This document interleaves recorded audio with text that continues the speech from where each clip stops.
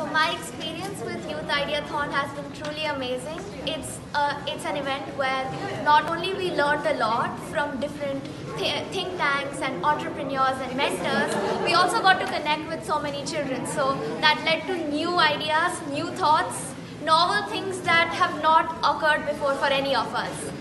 A message that I would like to give to Think Startup is to reach more children. I think that it's very, very important to have a greater and a wider reach so that each one of us has an equal opportunity to showcase ourselves. That is my message to Think Startup.